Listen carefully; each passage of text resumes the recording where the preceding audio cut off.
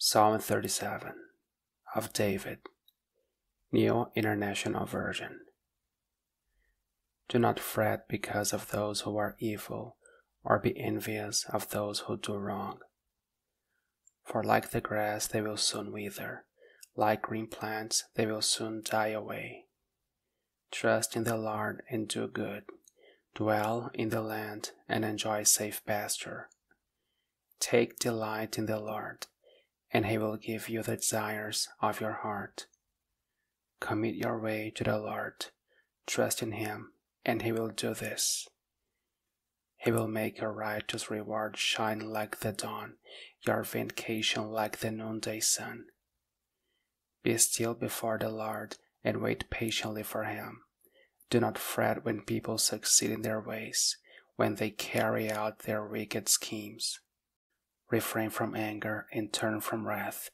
Do not fret, it leads only to evil. For those who are evil will be destroyed, but those who hope in the Lord will inherit the land. A little while, and the wicked will be no more. Though you look for them, they will not be found. But the meek will inherit the land and enjoy peace and prosperity. The wicked plot against the righteous and gnash their teeth at them. But the Lord laughs at the wicked, for he knows their day is coming. The wicked draw the sword and bend the bow to bring down the poor and needy, to slay those whose ways are upright. But their swords will pierce their own hearts, and their bows will be broken. Better the little that the righteous have than the wealth of many wicked. For the power of the wicked will be broken, but the Lord upholds the righteous.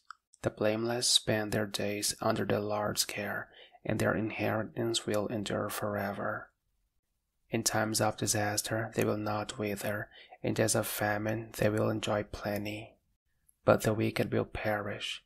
Though the Lord's enemies are like the flowers of the field, they will be consumed, they will go up in smoke. The wicked borrow and do not repay, but the righteous give generously. Those the Lord blesses will inherit the land, but those he curses will be destroyed. The Lord makes firm the steps of the one who delights in him. Though he may stumble, he will not fall, for the Lord upholds him with his hand.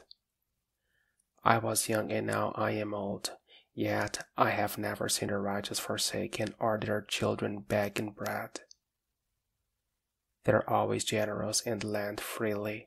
Their children will be a blessing. Turn from evil and do good, then you will dwell in the land forever. For the Lord loves the just and will not forsake his faithful ones. Wrongdoers will be completely destroyed, the offspring of the wicked will perish. The righteous will inherit the land and dwell in it forever. The mouths of the righteous utter wisdom, and their tongues speak what is just. The law of their God is in their hearts, their feet do not slip. The wicked lie in wait for the righteous, intent on putting them to death. But the Lord will not leave them in the power of the wicked, or let them be condemned when brought to trial. Hope in the Lord and keep his way. He will exalt you to inherit the land. When the wicked are destroyed, you will see it I have seen a wicked and ruthless man flourishing like a luxuriant native tree.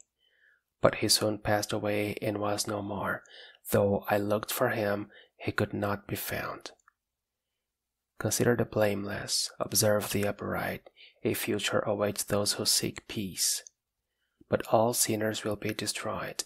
There will be no future for the wicked. The salvation of the righteous comes from the Lord.